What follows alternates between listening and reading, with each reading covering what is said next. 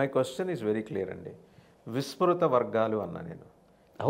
అంటే నిర్లక్ష్యానికి గురవుతున్న. వర్గాలు. అవును. మీ బా మీ భావన నాకు అర్థమైంది.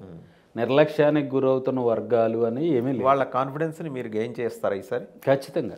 ఖచ్చితంగా ఈవేళ జగన్మోహన్ రెడ్డి గారి పరిపాలనలో ప్రతి సామాజిక వర్గం దోపిడీకి గురవుతుంది. ప్రతి ఒక్కరూ అన్యాయానికి గురవుతున్నారు. వాళ్ళందరి వాయిస్ మేము తీసుకుంటున్నాం. వాళ్ళందరినీ మేము ఏకం చేస్తాం.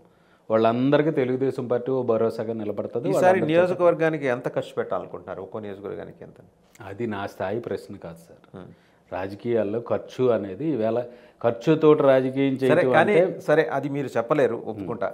ఎందుకంటే అది ఒక లెవెల్లో జరిగే చర్చ అండి. ఖచ్చితంగా. బట్ ఎన్ఆర్ఐల ఇన్ఫ్లుయెన్స్ ఈసారి ఎక్కువ ఉండబోతోందని తెలుస్తుంది నిజమేనా? అట్లా ఏముండదు సార్. అన్ని పార్టీల్లోనూ ఉంటారు. ఈవేళ వైసీపీలోనే ఎన్ఆర్ఐలు ఉన్నారు బీజేపీలోనే ఎన్ఆర్ఐ ఈసారి మీకు ఎక్కువ కాబోతుంది వాళ్ళ ప్రభావం. అట్లా ఏముండదు. పార్టీకి ఎక్కడ ఏ వర్గం అవసరం ఉంటే ఆ వర్గాలన్నిటినీ సమన్వయం చేసి పని చేయించుకోవడంలో చంద్రబాబు నాయుడు గారు ఆయన ఎవరిని ఎక్కడ ఎట్లా వినియోగించాలనేది ఆయనకు క్లారిటీ ఉంటుంది. ఆ క్లారిటీ ప్రకారమే అందరూ పనిచేస్తారు. ఈ పార్టీలో అందులో నో సెకండ్ డౌట్ సో ఈసారి అయితే యువర్ కాన్ఫిడెంట్ ఆంధ్రప్రదేశ్తో పాటు తెలంగాణలో అయితే పార్టీ బాగా బలం పుంజుకుందనే ఒక అబ్జర్వేషన్ ఖచ్చితంగా సార్. మీరే అంటుంటారు. Telugu Desam party cadre based party. తెలంగాణలో కానీ మీరు తెలంగాణలో అదే చెప్తున్నాను సార్. తెలంగాణలో బలమైన కేడర్ ఉంది. ఎప్పుడైతే రాష్ట్రం విడిపోయిందో చంద్రబాబు నాయుడు గారు అక్కడ ఆంధ్ర ఆంధ్రప్రదేశ్ నిర్మాణం మీద దృష్టి పెట్టడం వల్ల కొంత ఇక్కడ సమయం కేటాయించలేకపోవచ్చు. అది జరిగింది. దానివల్ల మా పార్టీలో మీరు రెండు వేల పద్నాలుగులో మా పార్టీలో గెలిచిన ఎమ్మెల్యేలే అందరూ టీఆర్ఎస్లోకి వెళ్ళారు. రెండు వేల పంతొమ్మిదిలో గెలిచిన వాళ్ళు కూడా టీఆర్ఎస్లోకి వెళ్ళారు. ఇప్పుడు చంద్రబాబు నాయుడు గారు అవనివ్వండి పార్టీ నాయకత్వం అవనండి తెలంగాణ మీద కూడా కొంత దృష్టి పెట్టి అంటే మారిన రాజకీయ పరిణామాలు.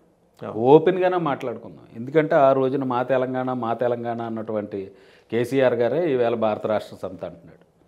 ఈ ప్రాంతీయాలు ఈ విభేదాలు ఆయన పక్కన ఇంపాక్ట్ పెట్టి ఆయన ఇంపాక్ట్ ఆంధ్రప్రదేశ్ మీదే ఖచ్చితంగా సార్. ఆయన ఇన్ఫ్యాక్ట్ ఆంధ్రప్రదేశ్ మీద ఉంటాం కాదు. ఆయన చేసిన పని వల్ల తెలుగుదేశం పార్టీ ఇక్కడ మళ్ళీ మేము. మాదికి ఇక్కడ భాగస్వామ్యం ఉంది. మా కేటర్ను మేము సో మీకు ఆయన యాక్టివేట్ చేసుకోవడం మాకు మాకు ఒక అవకాశం మళ్ళీ దక్కింది. ఆ రోజున ఖమ్మంలో చంద్రబాబు నాయుడు గారి సభ నభూతో నా భవిష్యత్ అన్నట్టు జరిగింది. ఉమ్మడి ఆంధ్రప్రదేశ్లో కూడా చంద్రబాబు నాయుడు గారి మీటింగులకి అంత భారీ స్థాయిలో జనం రావడం కంటే కూడా ఈసారి కాలంలో అది బాగా.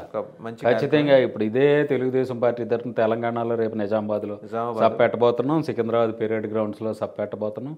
కాసాని జ్ఞానేశ్వర్ గారు తెలంగాణ టీడీపీ అధ్యక్షుడు అయిన తర్వాత ఆయన ఇక్కడ బలమైన నిర్మాణం అయితే మళ్ళీ గ్రామ స్థాయి నుంచి ఆయన కూడా చేస్తున్నాడు. ఇక్కడ బీసీల్లో మీరు క్లియర్గా చూడండి. టి దేవేంద్ర గౌడ్ గారు కానీ కడియం శ్రీహరి గారు కానీ బడుగు బలహీన వర్గాల నుంచి బలమైన నాయకులు తెలుగుదేశం పార్టీలో అవతరించారంటే.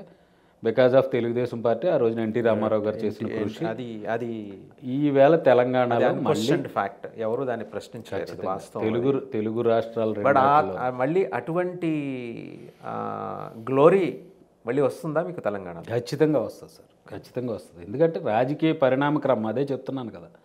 ఆ రోజున తెలంగాణ ఉద్యమంలో మేము మేము కొంత నష్టపోయిన మాట వాస్తవం. ఎందుకంటే చంద్రబాబు నాయుడు గారు రెండు తెలుగు రాష్ట్రాలు బాగుండాలి రెండు ప్రాంతాల ప్రజలు బాగుండాలి.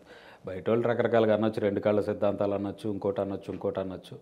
తెలుగు ప్రజలు అనే అసలు తెలుగుదేశం పార్టీ పుట్టిందే తెలుగు ప్రజల సంక్షేమం కోసం. ఎక్కడ బా ప్రపంచంలో ఏ మూలన తెలుగోడికి ఏ ఇబ్బంది వచ్చినా ఆ రోజుల్లో ఎన్టీ రామారావు గారు కానీ ఇప్పుడు చంద్రబాబు నాయుడు గారు కానీ క్లియర్ కట్గా వాళ్ళు వెల్ఫేర్ కోసం పోరాడారు.